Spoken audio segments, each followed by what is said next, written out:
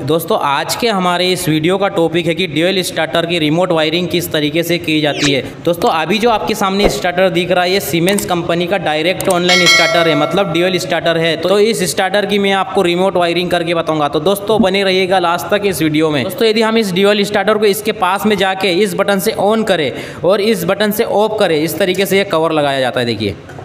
इस तरीके से लगाया जाता है। यदि हम इस बटन से ऑन करें स्टार्टर को और इस बटन से ऑफ़ करें तीन स्विच में जो कनेक्शन किया हुआ है, देखिए।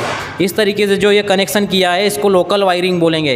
ये देखिए, इस तरीके से जो वायरिंग की गई है, इसको बोलेंगे लोकल वायरिंग ठीक है? दोस्तों, यदि हम इसी स्टार्टर को कहीं दूर से इस पुश बटन से द्वारा ऑन करें और इस पुश बटन के द्वारा ऑफ़ करें तो इन पुश बटन में जो वायरिंग की जाएगी, इसको बोलेंगे हम रिमोट वायरिंग ठीक है? मतलब स्टार्टर के पास न जाना पड़े और कहीं दूर से इसको ऑपरेट करें। मतलब इसकी वायरिंग किस तरीके से की जाएगी, वो मैं आपको बताता हूँ, ठीक है? तो दोस्तों, सबसे पहले मैं आपको स्टार्ट पुश बटन की वायरिंग करके बताऊँगा। तो इसके लिए मैं दो वायर ले लूँगा इस तरीके से, देखिए। दो वायर ले लूँगा इस तरीके से। तो इन दो वायरों को मैं इस तरीके से इस पुश बटन में कनेक्ट कर दूँगा, देखिए। देखिए। ठीक है? और इसमें एक वायर कनेक्ट कर दूँगा इस तरीके से।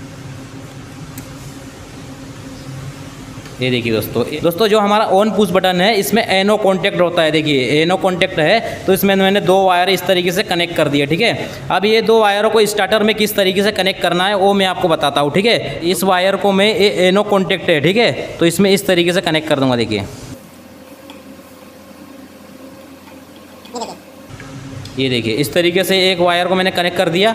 अब दूसरे वायर को मैं ये एनो कॉन्टेक्टर का दूसरा वाला पॉइंट है, ठीक है? ये दूसरा वाला पॉइंट है, उसमें इस तरीके से कनेक्ट कर दूँगा, ठीक है? ये देखिए दोस्तों।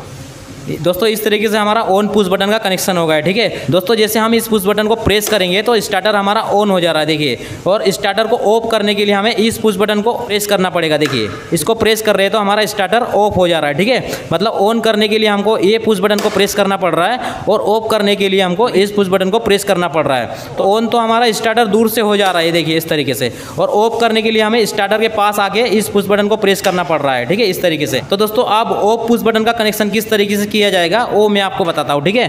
तो दोस्तों, उसके लिए मैं दो वायर ले लूँगा इस तरीके से, और उसको मैं एन सी कॉन्टैक्ट देखिए एन सी कॉन्टैक्ट है, उसके एक टर्मिनल से मैं कनेक्ट कर दूँगा, देखिए। और दूसरे वायर को मैं इधर कनेक्ट कर दूँगा इस तरीके से, देखिए। दोस्तों, जो हमारा ऑफ़ पुश बटन है, इसमें एन सी कॉन्टैक्ट होता है। देखिए, इसको एन सी कॉन्टैक्ट बोलेंगे, ठीक है? और ऑन पुश बटन में ये एनो कॉन्टैक्ट होता है, ठीक है? तो ये देखिए तो इसमें दो वायर है, इसको किस तरीके से कनेक्ट करेंगे वो मैं आपको बताता हूँ, ठीक है? तो दोस्तों, हमारा जो ये लिंक लगा हुआ है, देखिए, ये वाला जो लिंक लगा हुआ है, उसको निकाल देंगे, देखिए, इस तरीके से। ये देखिए दोस्तों दोस्तों, हमारा जो लिंक लगा हुआ था एनसी के पंचानवे नंबर से यहाँ पे लगा हुआ था। तो इस लिंक को मैं निकाल लूँगा इस तरीके से, ठीक है? इसकी ज़रूरत नहीं है हमको। अब इस वायर को मैं, ठीक है? अब इस वायर को मैं यहाँ पे कनेक्ट कर दूँगा, देखिए, इस पॉइंट पे। इस तरीके से कनेक्ट कर दूँगा। अब इस वायर को मैं इस पंचानवे नंबर में इस तरीके से कनेक्ट कर दूँगा, देखिए।